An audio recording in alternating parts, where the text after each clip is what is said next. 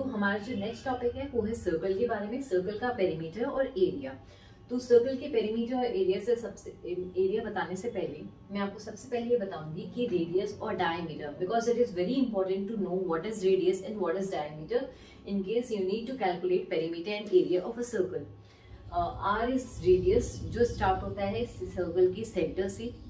और डायमीटर जो है, और डायमीटर जो है, वो इस सर्कल के एक पॉइंट से स्टार्ट होता है और दूसरे पॉइंट पे एंड होता है। बट इसमें एक और चीज़ है, ये सेंटर के थ्रू पास होता है। तो diameter is equals you can see in other terms diameter it is just double of radius and R it is just half of diameter circum का फॉर्मूला है टू पाया और एक और formula है pi into D that means pi into diameter pi की जो value होती है टू पॉइंट सेवन और you can consider as three point one four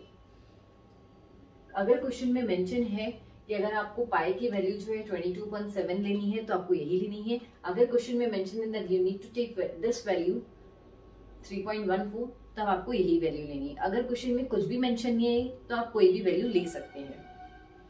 अब मैंने यहाँ पे दो एग्जांपल्स लिए सर्कमफ्रेंस के केस में। फ़र्स्ट एग्जांपल जो है, जिसमें मैंने लिया है रेडियस रेडियस है सेवन सेंटीमीटर तो उस केस में सर्कमफ्रेंस क्या हो जाएगा? Two pi R that means two into pi की value twenty two point seven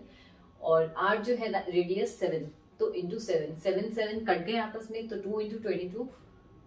answer is forty four centimetre second example जो लिया है, इसमें मैंने डायमीटर मेंशन किया है। डायमीटर जो है ट्वेंटी एट सेंटीमीटर दिया हुआ है। तो इस केस में सर्कमफ्रेंस में मैंने दूसरा वाला फॉर्मूला लिया that is pi into D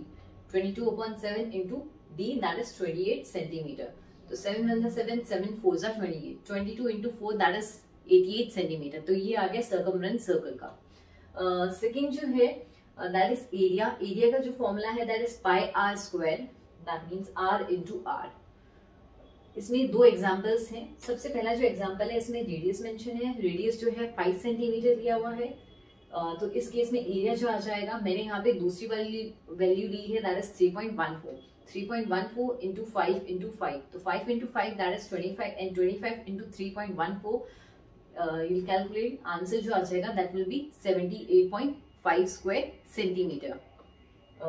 second example जो इसमें है एरिया के केस में, उसमें डायमीटर मेंशन किया है डायमीटर जो है 49 सेंटीमीटर है तो इस केस में एरिया जो आ जाएगा pi R square that means twenty two upon seven अब यहाँ पे आर इंटू आर जो है, मैंने यहाँ पे आर कैलकुलेट कर लिया है. R is just half of diameter so D upon two that will be equal to forty nine upon two